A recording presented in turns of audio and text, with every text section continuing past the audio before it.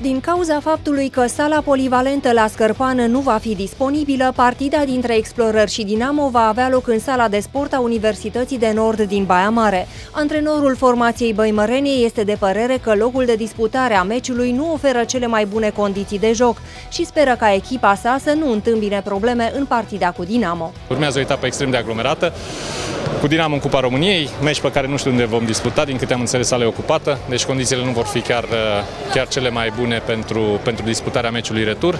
Sperăm să nu fie probleme în calificarea noastră mai departe. După victoria cu 3 la 1 din tur, Băimărenii speră să rezolve repede soarta calificării. Dacă va câștiga două seturi, Explorări își va asigura calificarea în Final Four-ul competiției. Returul cu Dinamo sper să tranșăm primele două seturi și să lăsăm și celorlalți din uh, echipa a doua să, să poată să evolueze un pic, pentru că avem mare nevoie de ei, campionatul e lung, jucăm într-un ritm infernal miercuri, sâmbătă și avem nevoie de toată lumea. Partida dintre Explorări și Dinamo va avea loc mâine cu începere de la ora 18 în sala de sport a Universității de Nord, situată pe strada Victoriei numărul 76. Partida va fi arbitrată de clujenii Tudor Pop și Mircea Rus, iar observatorul din partea Federației Române de Volei volei va fi Ioan Buhățel din Dej.